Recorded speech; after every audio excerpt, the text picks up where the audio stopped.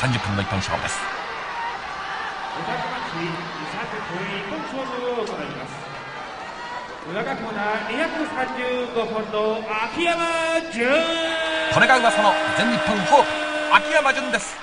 225ポンド山本さん秋山の特にどの辺を買ってらっしゃいますか？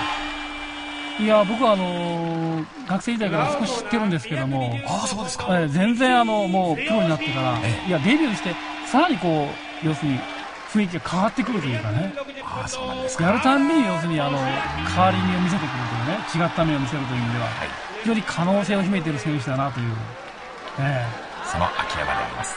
やや緊張の面持ちか。軍が上がりました。菊池と秋山です。今握手を交わしましたよ。体勢を低くする菊池。両選手ともアマレスの素地があります足を取りに行きました。タックル。ープロレス以外の世界の格闘技の人がねはい。あの秋山選手のファイトにもう自分のところに欲しいというぐらいのことを言ったんですよね、ああそうですか、ええ。だから我々に分からない分であのやっぱり何か思ってるんでしょうね。えー今のあたりのバックの取りはいかがですか？ご覧になりまして。やっぱりええ。アマレス仕込みの基本というのをねはい身につけてきて入ってきたというのは強いですね。まあ、手前味噌になりますがこの全日本のレスラーというのは本当に基本がしっかりしてますよね。菊池選手もね、はい。あの学生選手権優勝してるんですよね。そうですね、え腕を取りに行きました。秋山。菊池も返していきます。え馬場さんもあのアマレスの素地があってプロに入ってくるというのは非常にあのありがたいと、ううん、あの育てやすいというね、はい。ええ。まあ、早くできデビューできたのもそういうことでしょうね、んまあ、半年という、まあ、秋山自身の努力もあったんでしょうね、そして明白楽ジャイアント馬場。馬場さんは本当にあのなんていうかさ育て方がうまいんですよね。ねこれはもう全然知られてないし。さあ河原が登場してまいりました。水平チョップ。どうだこの音は。すごい水平チョップ。キック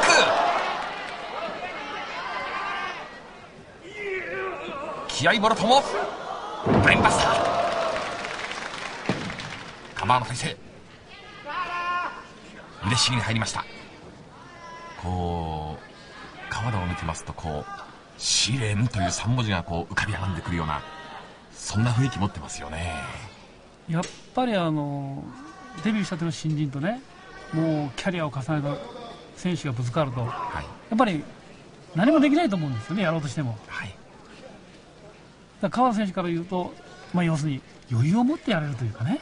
なるほど。今の雰囲気はそうですよ。こここまでのあの最初の出だしからは、はい。なんか表情もいつもと違うような感じがしますね、菊池が登場してきました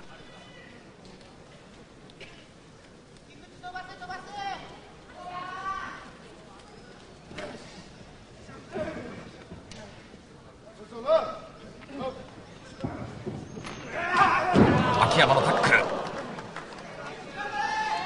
うやって声が出るのはいいですね、はい。え非常に秋山声出てますね、うんそれからあの表情も非常にあの静観と言いますかそういう声が多いんですよ。え持って生まれたもんでしょうね。ああですか。はい。さあ小川です。いい形でつなぎました。小川と菊池世界ジュニアベルトをめぐってどちらが先にフッチチャンピオンを倒すか。この辺りが全日本です。気持ちいいですねエンディとね。まあ本当にいいライバライバルですね。そうですね。タイプが違うのがいいんですよね。そうなんですね、さあ菊池は牛若丸みたいなようにスルッと体をかわした。小川悔しがりますこんなことを言うんですよ。菊池選手は。あのー小川選手との戦いを大切にこれから2人の戦いを川田田植のように高めていきたい。ええ。ライバルを作るということによって成長していくし、はい。お客さんもそれを楽しみにしてるんですよね、そして淵正信というチャンピオン天井は逃げないから2人で試合を高めてそして切磋琢磨してチャンピオンを争いたい。というふうに話していました。いわゆる淵越えというのが2人のテーマですよね。そうでしょうね。でも淵選手はしぶといですからね。このシリーズも13回防衛しましたからね。さあ川田がます。エルボーです。小川もチョップを返します。川田ステップキック。顔面練り。小川もチョップを返す。エルボー川田小川は倒れる。ロープに飛ばす。スピンキック。まずはカバー。首4の字に入ります。川田のなんか風格を感じますよ。やっぱり相手の選手は体が寿命小さいのでね。ええ。本当にあのこう自信を持ってね。はい。やってますよね。どうなんでしょう山本さん。あの武道館三沢戦を前にしましてねえ例えば開幕戦では三沢の得意技のタイガードライバーこういうものを使う川田なんかこう内に秘めたものといいますかねこう戦いにメッセージがあるんですよね。憎いというかね我々からするとええ。非常に。はい。やっぱりあのプロレスというものをすごくこうよく分かってきたというか。はい。なんかそういうね自分たちの戦いをおのずとはやっぱり観客にうん。メッセージしていくというね、はい。相手を下しますとさっさと花道帰りますしね。ええ。さあスリーパーン取りました秋山。まあ、あの侍的な雰囲気というのがこのはい。川田選手のね、そうですね。魅力ですよね。しかしどうでしょうかこのスリーパーですががっちり入ってますが川田あまりあえて苦しそうな表情をしてないんでしょうか？やっぱり秋山選手の方が攻めづらいと思うんですよね。ああそれはあるかもしれませんねこの角というのは本当に目に見えない部分であるんですよね、はい。そしてまたこれがなかなか破りにくい難しいもんなんだそうですね。どうやって超えていくかということなんですよね。時間がかかる顔面蹴り。一発で流れを変える技を持っています。川田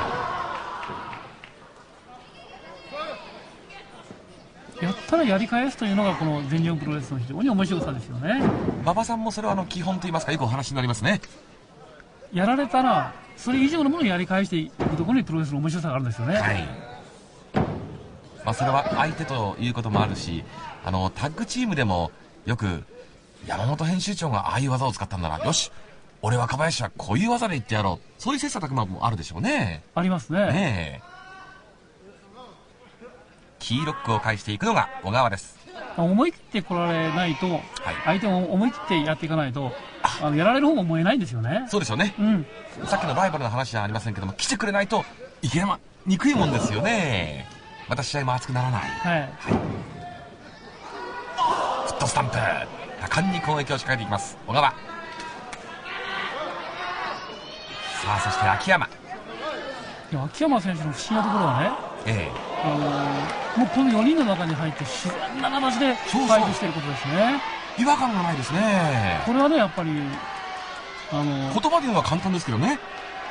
非常にやっぱり彼がね、あのさっきも言ったようにはい。あの持って生まれた才能というものがあると思うんですよね。サッカーボールキックで川田が強烈なカット。誰もあの別にヘルプしてないんですよ。はい。でも自然な形で試合やってますからね。これ一人あの秋山が、まあ、変な形ブレーキということになれば流れが止まっちゃうわけですよねそこで。えはい。今度は小川と菊池。ブレインバスター。小川義成です。先ほどサッカーボールキック。そして今度ブレインバスター。スリーパー。落とせコールが飛んでいます本当に岡山の会場でのふあのムードがいいですねはい。あの、聞いてますとなんか、あの、ファンの歓声が武道館の天井みたいにこだますると言いますかね。あのミニ日本武道館というのははいぴったり表現、本当にそうですね。会場ですよねでもやっぱりあのこの23年間努力してきた企業努力の結果なんですよねね。武道館よろしくあの、張り紙が貼ってありましたね。はい今頑張れっていうね。カードも非常にあのなんていうかさ、はい後楽園ホールと似てるところあるんですよね。あ、そうですね。地元の大学研究会な、あの、プロレス研究会なども活動が盛んのようですね。そうですね。はい。スリーパーホールド。2回目のスリーパーホールドを持っていきました。さあ、菊池どうするか。顎砕き。秋山にタッチ。同じようにスリーパー。菊池どうする投げを打ちますが離しませんこの辺のこう勘と言いますかこれはセンスと言いますか天性のもんでしょうかねあの、へばりついていくんですよね。回り込んだりへばりつくっていうのは重要なんですよね。あ今度は大砕きおおまた離しません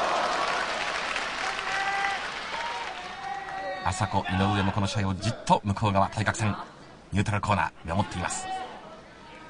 どうでしょう山本さんこの秋山選手。まあファンにとってよく編集長がするのはあの成長を一緒に守っていくのがこのファンの贅沢でもあり楽しみであると。え秋山も無限の可能性が何十年も広がってるわけですね。えまあ今やっとスタートしたという感じでしょ。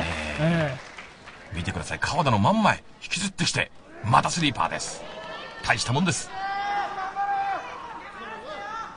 僕この人はあの、プロレスに関する想像力が豊かだと思うんですよ。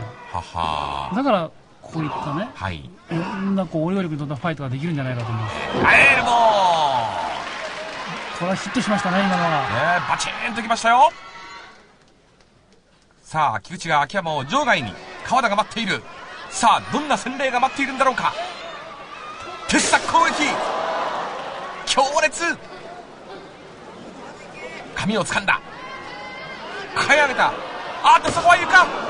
床です。ボディースラムを打ちましたマットはありません。いや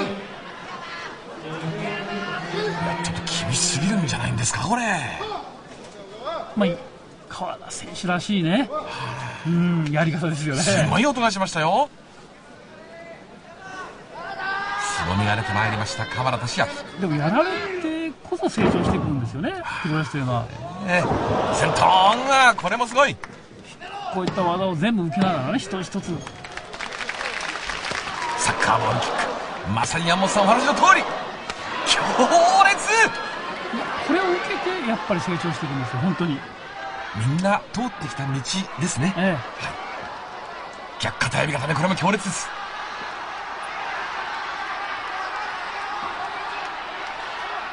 川田がガーンと腰を下ろしています。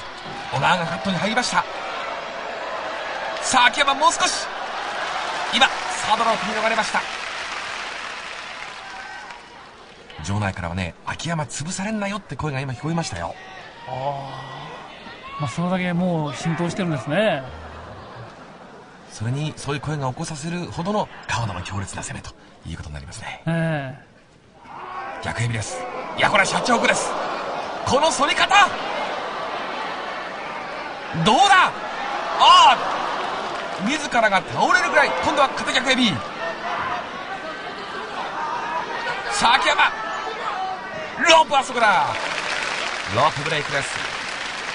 えでも観客からすると、秋山選手の絡みがもう全部新しい風景に映るんですよね。新鮮ですね。え。ええ。こんなに嬉しいことないですね。えもう非常に新しい風がね、はい。あの全日本のマットに注ぎ込まれたという感じだよね。全。くその通り新風ですね、えこれでまた秋山がどんどん成長してくれればいろんなカードがまた実現しますね。やはりあの編集者の立場から言っても、こういう申請が現れてくれると取材に力が入ると言いますか楽しんで恥ずかく方も。はえいや、あの、ええ。他の世界を見ても、い。あの、高原、若原、はい。みんな出てきてるんですよね。え。ええそういった意味では、あの、プロレス界も、まあちょっと、あの、遅れたかなという感じはなきにしもあらずですよね。さあこの回転エビは引き離す引き離す引き離す引き離れない。あーケリー。まあ、この河原俊明でさえ1年違いの三沢タイガーとの大きな差に絶望の淵に沈んだことがあります。菊池とて同じです。今ウェイトを上げようと必死になっています。小川も20代の前半は手術とリハビリの毎日でした。負けるな。秋山。声援を送りたいと思います。あの秋山も怪我であまり日本一になれなかった。挫折を乗り越えてきた男ですよね。その時馬場さんがねはい。あのアマチュアの実績はもう今のプロレスは関係ないよと、はい。一言言ったのがあのプロレス入りを決意するね、そうだったんですか、ええ。実際今もう昔でしたらね、まあ、柔道日本一だとかうん。アマレス出場というのがはい。一つの勲章になりましたけど、ええ。今のプロレスはやっぱりちょっと違いますもんね。そうですね。ハンセンにラリアットを浴びて顎がガクガクになりながらも頑張ってきました。さあこれはうまく返したジャーマン。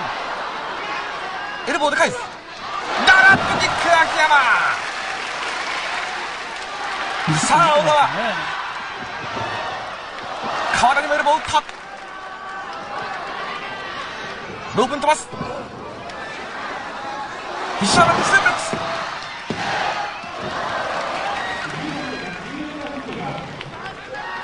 15分が経過右のエルボー。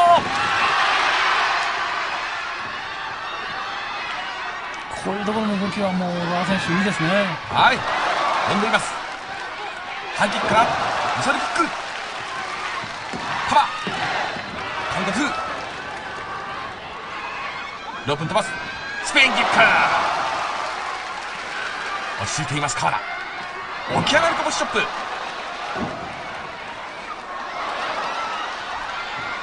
さあバックドロップ秋山が出た。これはいい判断だ。今のシーンはあれですよ。はっきり言って新人離れですあれですよ。ねええ。何の躊躇もなく出てきましたね、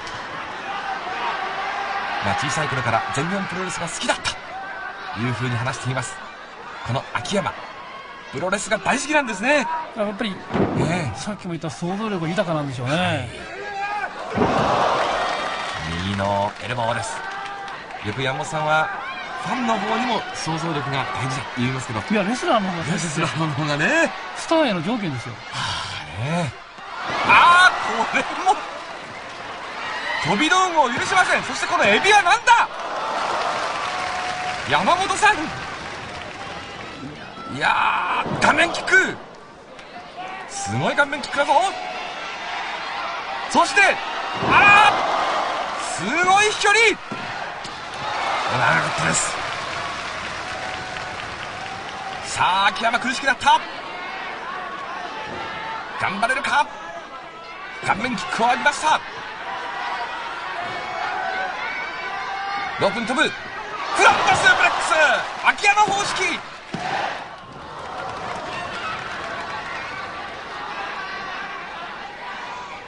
ブレンバスターだ。バックに回る。取り返す。ジャーマンスープレックスホールド山本さんどうです？やっぱりちょっとあのスピードとかタイミングが人とは違いますね。ああですねドリー・ファンク・ジュニアは言っていました。速いというかね。素質は全く鶴田と同じ。そして吸収力は鶴田以上いうふうに話してましたよ。右のエルボー菊池トゥータ選手は素材が爆発的でしたよね。体力から見ても。バックドロップホールドうん返しましたカウント2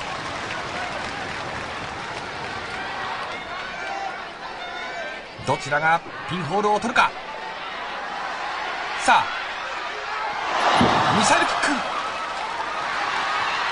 川田が出る。パンチで応戦。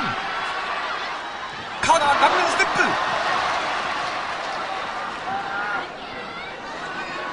今では秋山選手やっぱり投げなかったですもんね。ええまともには。ダイビングのエルボー。小川カット。それを菊池がカットああ秋山が孤立。これは試練です。首がダメ。よくしかしこれ今ホール取りに行きましたよね。ああ勝ちに行ってます。秋山。逆さ抑え込み驚きました。ああ顔面キック。これは川田らしいところ。ああ顎に入った。そして胸板。うわーもしかして秋山。やはり初めて恐ろしさというものを体に感じているかもしれません。やればやれるほど秋山コールが出るというのがいかにもね。大コラー！ストレッチプラン！ストレッチプラン！ストレッチプラン！